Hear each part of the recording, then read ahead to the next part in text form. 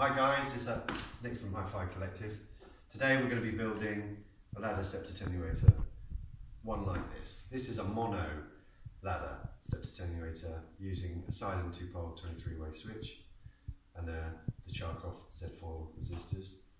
This little beauty is around £650. High price because of the value of the resistors. They are very expensive. But you're not going to get a better step attenuator than this.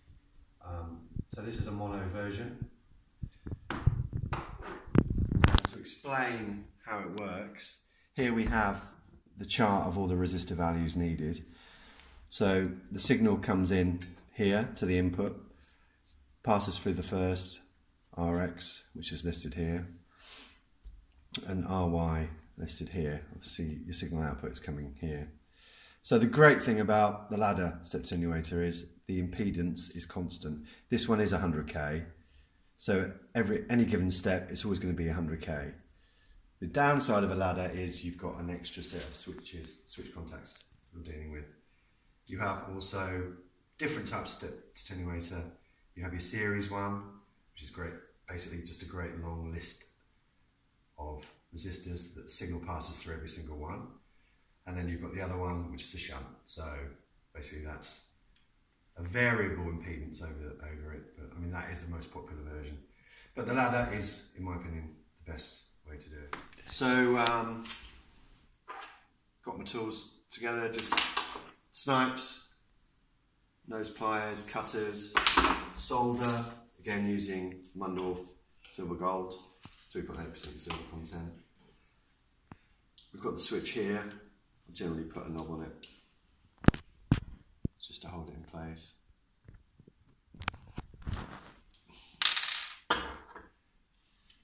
Trusted glasses, and also let me demonstrate this light here, which is wicked for getting close. You can actually use that as well, but I'll use my glasses anyway.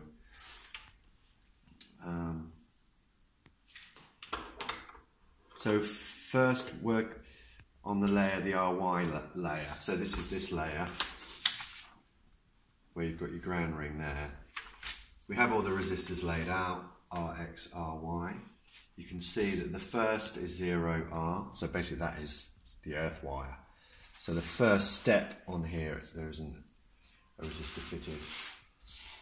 Now to keep things constant,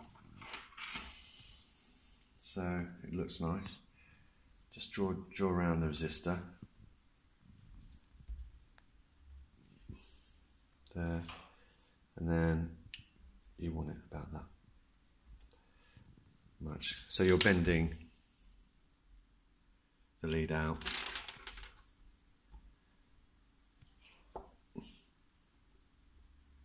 There. So do one, just easily turn the other one. What's that? Right. So like like with this one, the back is I'm going around fitting it that way around just to keep everything constant. Doesn't really matter which way around these resistors are, but I always try and keep things constant. So you can see here, this is the first tag. Now this is going to have the earth wire going off. So the first resistor gets fitted there. Oops. Now these resistors are quite delicate. If you scratch them, you can change their resistance, so just be careful. Just making sure I do it the same kind of size. So I'll generally do a few before I pick up the soldering iron.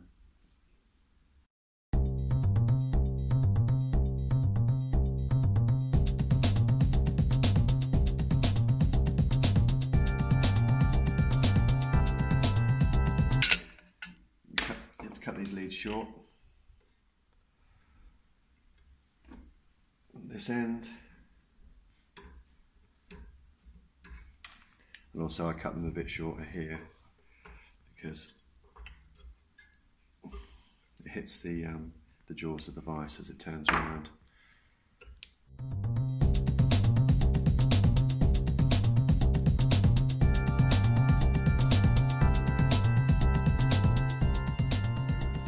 So all um, RY resistors are, are fitted um, and all that remains is the earth to be connected up.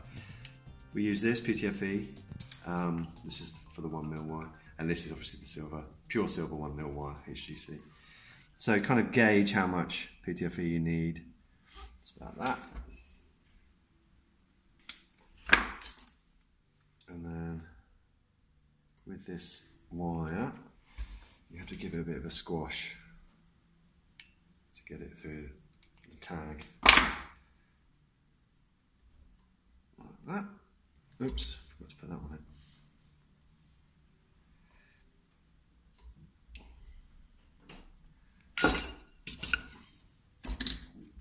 So there in place.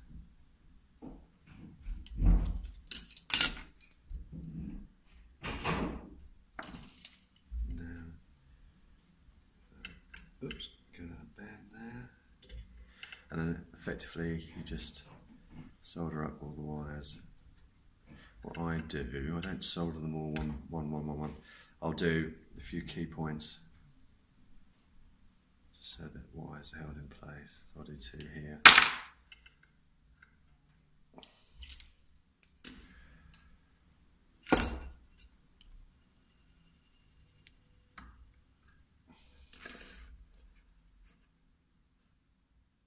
You need clearance here so that the earth bar isn't touching the chassis. So what I generally do is just give it a bit of a bend like that. Bend them round ready for soldering and start wiring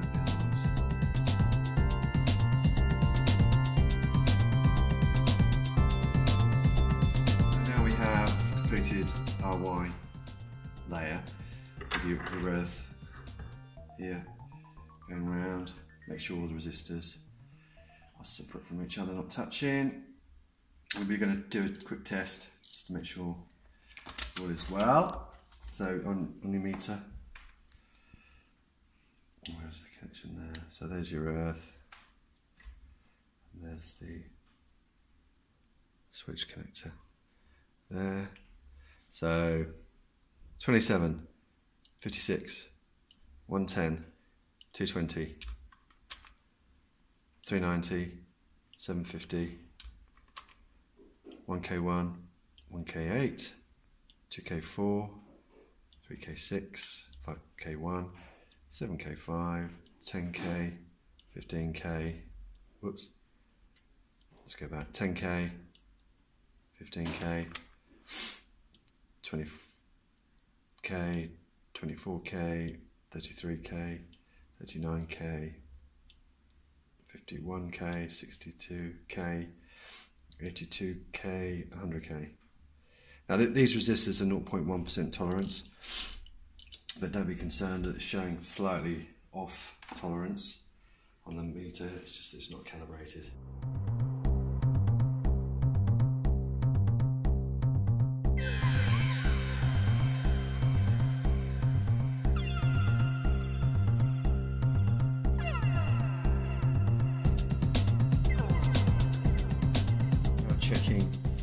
RX layer. Um, position one is 100k. So working our way down. So you've got 12 at 100k.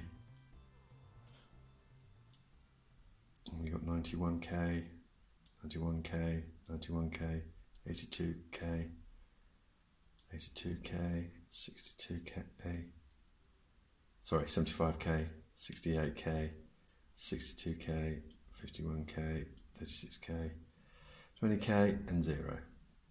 So it's done. Obviously, we wrap these guys incredibly carefully before sending to our customers, but there you go.